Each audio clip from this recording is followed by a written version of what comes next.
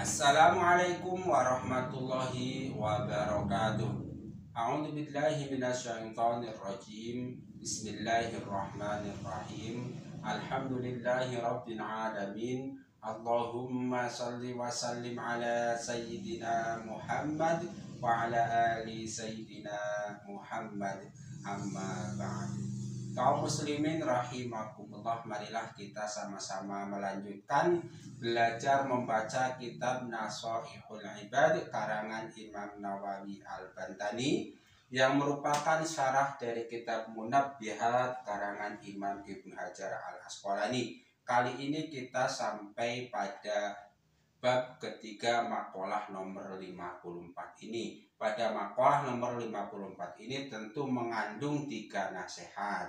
Wakila al-ibadatu khirfatun wahanutuha al-khalwatu wa ra'su maliha at-taqwa wa ribhuha al-jannatu. Wal maqalatu utai maqalah ar-rabi'atu kang nomor 4 marham sud al-zakat di maqalah yang nomor 54 kila den dawakan ana ibadatu ta ibadah lillahi maring Gusti Allah taala halal ma'ruf sapa Gusti Allah iku khirfatun profesi. Ya, jadi menurut Ibnu Hajar Al Asqalani bahwa ibadah itu ya profesi. Profesi kamu apa sih? Ibadah kepada Allah Subhanahu wa taala. Mantap lah jos tenan.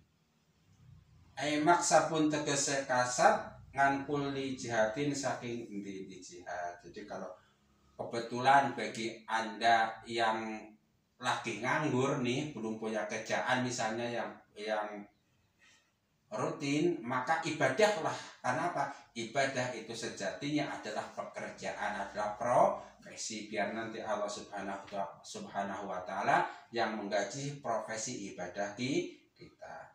Wahanu tuha utawi tokone e, ibadah iku al kholwatu perseban ai dukanu tegese utawi tokone ibadah iku satu sirri omong-omong rahasia mengalui sartane Gusti Allah Ta'ala hal yang mau sapa Gusti Allah haitsula ahada sekiranya orang-orang wong iku. Jadi kalau tadi bahwa ibadah adalah profesi lalu tokonya apa? Tokonya ada khulfa khulfa. Berdua dengan Allah dalam tanda petik tentu saja berdua dengan Allah maksudnya dan munah munajat. Kita sholat malam nggak ada orang yang tahu memuji kepada Allah. Itulah tokonya ibadah. Kita puasa nggak ada orang yang tahu kalau kita sedang puasa nah kita gitu ya di khulwah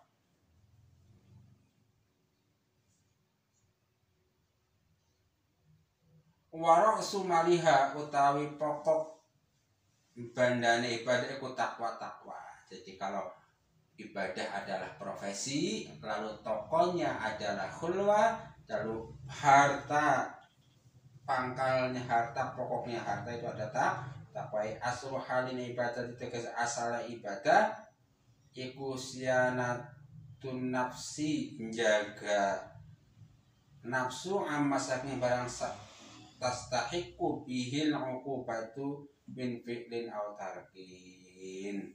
Nah, jadi kita tuh harus menjaga diri kita supaya tidak terjerumus di dalam dosa dan supaya terus menerus mau menjalankan perintah Allah. Itu rata takwa warub warib huha utawi keuntungannya ibadah iku al jannatu surga. Nah setelah kita punya profesi ibadah buka toko lalu punya harta yang banyak itu dari ibadah tersebut maka pada akhirnya kita punya keuntungan yang bernama surga. Aidarusawab tegese utawi umai walesan wa mafi. Ya jadi surga ya jadi bagi anda buat motivasi saja yang kebetulan sedang nganggur ya dalam tanda petik nggak usah putus asa karena ada profesi yang sangat luhur, ada toko yang sangat besar, ada harta yang sangat banyak yang berupa ibadah, ibadah. Mudah-mudahan bermanfaat. Jangan lupa like dan subscribe channel ini.